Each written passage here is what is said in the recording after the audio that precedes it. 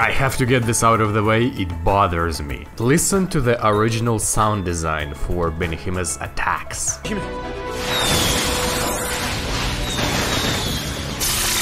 Benihime! Now listen to the sound they got in the trailer.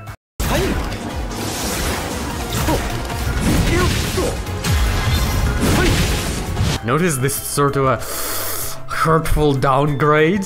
But whatever, not a big deal, I'll live. More interestingly, there is a move that allows him to have more frame advantage on his moves, which is used for combos and pressure, while the game already has a mechanic that by default allows you to do this, so he gets a double, which in turn pretty much guarantees you combo loops. I mean, it still doesn't beat the Jinta Uru Wombo combo. It's pretty cool how he starts slow and then just when he starts to speed up, the trailer cuts in and you only get a glimpse of Hado 91. They also do not show any of the characters' ultimates, and judging by the description from the official site, he also has a counter that they didn't show. And that's not even mentioning the flash step mechanic that keeps being teased but never explained. I can continue glazing and say that he also has the biggest stat thingy, I don't know how those are called. Notice that there is a difficulty rating in stars, and that is a nice reference to a Bleach GC game. Or Guilty Gear Strive!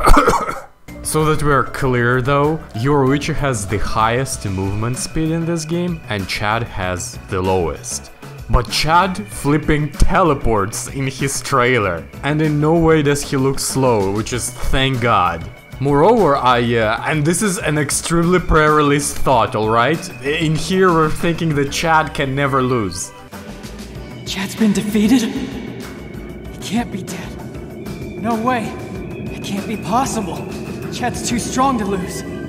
I read the Google translated description from the official site, and if it says, when fully charged, he deals damage regardless of the amount of spiritual energy his opponent has, if it means that he has an unblockable when he's fully charged up. That means you gotta press some buttons to interrupt that, but they also gave him a revenge attack, which is basically the type of attack that deals more damage if you try to interrupt it. So if you don't press buttons, unblockable. If you press buttons, uppercut revenge deck. Ease of use 5 stars by the way. Doesn't it sound like a more comprehensible and easy strategy than just get serious and press buttons bro? I feel very conflicted about making a short video just for two trailers, so I'll try to wait until there is at least three or more next time I do something like that, Un unless you guys don't mind, but just one last thought that I really want to get through. The one thing that I want to pitch devs, when you're making Orihime, give her Aegis Reflector.